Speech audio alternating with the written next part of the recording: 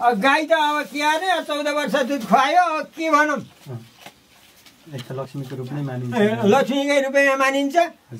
अब चौध वर्षसम्म यसले दुध दिएको त्यही छ बिचमा एक फेर ब्याउँदा एक महिना थकाएको एक फेर ब्याउँदा पन्ध्र दिन थकाएको यसको थाकेको टाङमिन नगएको भन्ने डेढ महिना चौध वर्षमा। सात वर्षसम्म त बिहानै बेलुकी दिएछ।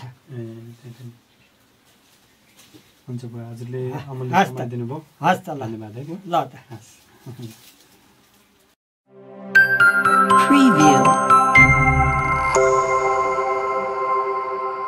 अनि बुवा यो गाईलाई कतिमा ल्याउनु भयो अरे तिस हजारमा ल्याएको पनि बकर्नु गाई। भनौँ सात आठ महिना दुध त बकर नै भयो नि। त्यसरी ल्याएको बाछी थियो त्यतिखेर? बाछी थियो ऊ बाछी अहिले एघार बेत बिहा छ।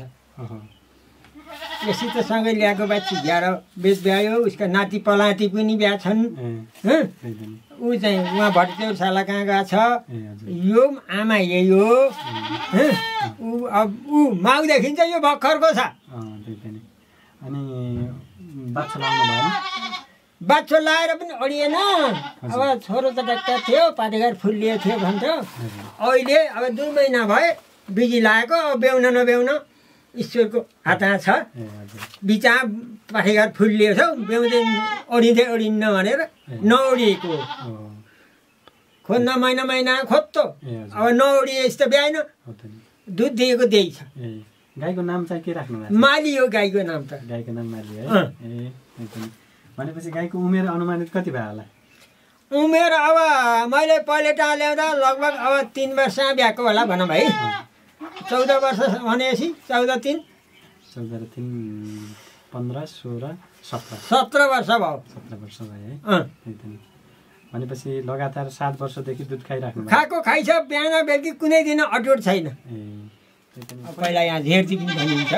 छत्रकोट एक झेर्दी है। झेर्दी टिकाराम नेउपाने टिकाराम नेउपाने कति वर्ष हुनुभयो एकसठी वर्ष भयो ए त्यही त पहिला पहिला त्यस्तो गाई गाई गाई त पालिराख्नुहुन्थ्यो होला नि गाई पहिला पनि पालिन्थ्यो अब चाहिँ यो ल्याएपछि यो छोराबारी एकतिर एकतिर गएको छन्।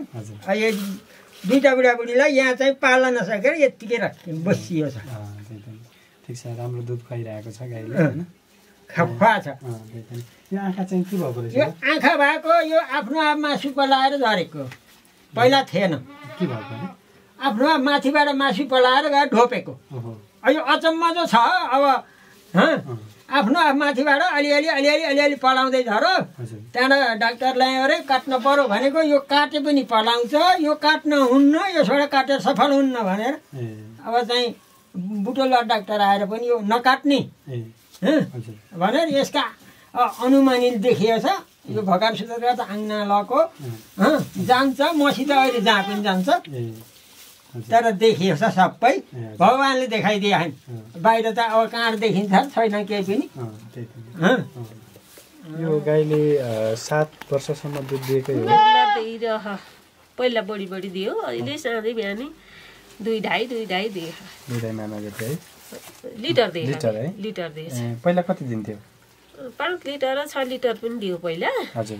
अहिले त धेरै समय पनि भयो के दुई ढाई दुई ढाई सधैँ बिहानै दिइरह रेगुलर बिराउन्न भन्नाले यो तराईतिरको ठुलो जातको हो कि कस्तो यहीँको गाउँघरको हो? यो पहिला सुरुमा जन्मेको बन्नेपा अरे काठमाडौँ बन्नेपा भन्नेबाट ल्याएको। बनेपाबाट ल्याउनु खर्जिङ ल्याएछन् खर्जिङबाट हामीहरूले ल्याएको। त्यतिखेर यो आँखा त्यस्तै थियो कि कस्तो भयो? पछि के पहिला भयो त राम्रो थियो। आँखा के भयो? त्यत्तिकै जालो लाओ हजुर। अब ठुल्ठुलो उपचार गर्ने मान्छे भए ठाउँ ठाउँमा गएर गर्न पशुलाई कहाँ लाने मिसनहरू पनि चाहिए त्यत्तिकै तौलित पा। दुइटै आँखा यस्तो भएछ है? दुइटी आँखा यस्ता भयो। पहिला त एकदम ठिक थिए। यस्तो बाहिर बाहिर निस्केको होइन? ए उपचारको लागि केही हुन्छ हुन्न भन्ने केही डक्टरहरूलाई सोध्नु भएन? सोधेको छोरै जो डाक्टर छ। हजुर। सोधेको छोराले खै हुन्न ठुल्ठुला डाक्टरहरूलाई सोद्धाखेरि पनि खै हुन्न के अरे भन्ने जस्तै कुरा भयो ए त्यही त नि अझै पनि दुई दाइ महिना दिन्छ है दिन्छ